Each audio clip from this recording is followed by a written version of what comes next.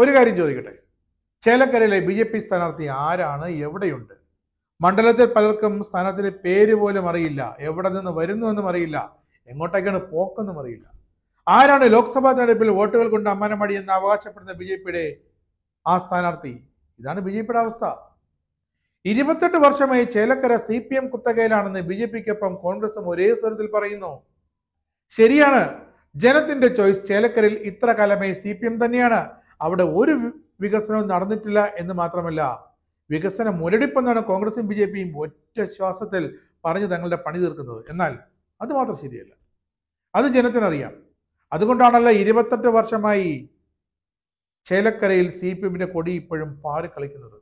ഇനി കോൺഗ്രസും B J പിയും അതിൽ അസൂയപ്പെട്ടിട്ട് ഒരു കാര്യവുമില്ല. വികസന ചർച്ചകൾ തങ്ങൾക്ക് വിനയാകുമെന്ന് മനസ്സിലാക്കിയ യു ഡി എഫിനും ബി ജെ പിക്കും ഈ ഉപതെരഞ്ഞെടുപ്പിൽ ആശ്രയം നുണപ്രചനങ്ങൾ മാത്രമാണ്. അതാണ് ഇപ്പോൾ സംഘടനത്തിലേക്ക് വരെ വന്നത്. യു ഡി എഫ് സ്ഥാനാർത്ഥി നിർണയത്തോടുള്ള എതിർപ്പിനെ തുടർന്ന് K P C C secretary എന്നതാ വിമതനെ മത്സര രംഗത്തിറങ്ങിയത് യു ഡി എഫിനെ കുഴയ്ക്കുകയാണ്. ആളിക്കത്തുന്ന കൊടകര കുഴൽപ്പണ വിവാദം ബി ജെ പിക്കും തിരിച്ചടിയായിരിക്കുന്നു. ഒരു മറുപടിയും മണ്ഡലത്തിൽ പറയാനില്ല. തൊണ്ണൂറ്റിയാറ് വരെ കൂടുതൽ തവണയും കോൺഗ്രസിനെ ജയിപ്പിച്ച മണ്ഡലം ചേലക്കര. വികസനം എന്തെന്നറിഞ്ഞത് തൊട്ട് പിന്നാലെ എൽ ഡി എഫിന്റെ കേരാദർശം വന്നപ്പോൾ അതിന് പിന്നാലെ രണ്ടായിരത്തി പതിനാറിൽ യു ആർ പ്രദീപ് എത്തിയപ്പോൾ ഇവരൊക്കെ എം എൽ എമാരായ ശേഷം എട്ട് വർഷത്തെ എൽ ഡി എഫ് ഭരണത്തിൽ കോടിക്കണക്കിന് രൂപയുടെ വികസന പദ്ധതികളാണ് നടപ്പാക്കിയത് ഇടത് സർക്കാർ. പട്ടികജാതി സംവരണ മണ്ഡലമായ ചേലക്കരയിൽ model residential English medium high school അടക്കം നിരവധി പദ്ധതികളെത്തി ഓടിയെത്തി. യു ഡി എഫിന്റെ സ്ഥാനത്ത് രമ്യ ഹരിദാസ് ചേലക്കര ഉൾപ്പെട്ട ആലത്തൂർ ലോക്സഭാ മണ്ഡലം എം പി ആയിരുന്ന അഞ്ചു വർഷം. എന്ത് ചെയ്തു എന്ന ചോദ്യത്തിന് മറുപടിയില്ല.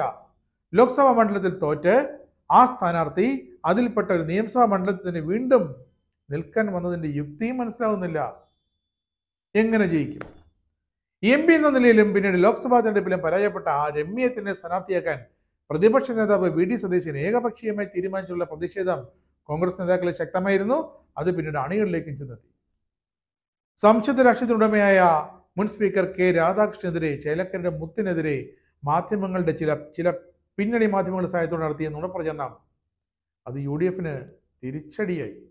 ചെറുതുരുത്തിയിലെ സംഘർഷവുമായി ബന്ധപ്പെട്ട് കെ പി സി സി അധ്യക്ഷൻ കെ സുധാകരന്റെ അക്രമ ആഹ്വാനവും കൊലവിളിയുമൊക്കെ നാണക്കേടായി.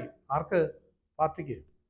സംസ്ഥാന ജില്ലാ പ്രസിഡന്റുമാർ ഉൾപ്പെടെ കുഴൽപ്പണ വെളിപ്പെടുത്തലിൽ പ്രചോദിക്കാനാകാതെ ആഴിയുലയുകയാണ് തൊട്ടു പിന്നാലെ ബി ജെ പി. തൃശൂർ പൂരസ്ഥലത്ത് തന്നെ ആംബുലൻസിൽ പോയിട്ടില്ലെന്നും കണ്ടത് മായാക്കാഴ്ചയാണെന്നുമുള്ള എൻ ഡി എ തെരഞ്ഞെടുപ്പ് കൺവെൻഷൻ ഉദ്ഘാടന വേദിയിൽ ചേലക്കരയിൽ വെച്ച് ആ കേന്ദ്ര മന്ത്രിപങ്കവൻ സുരേഷ് ഗോപി പറഞ്ഞതാണ്. ആ നുണ പറച്ചിൽ പിന്നീട് അദ്ദേഹത്തിന് തിരിച്ചു പറയേണ്ടി വന്നു.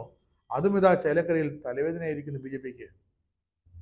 അതാണ് പറയുന്നത്. അവിടെ സി പി എം സ്ഥാനാർത്ഥി എൽ ഡി എഫ് സ്ഥാനാർത്ഥി തന്നെയാണ് ചേലക്കരയിൽ ജയിക്കാൻ പോകുന്നത്. പതിവ് പോലെ ഒരു മാറ്റവുമില്ല.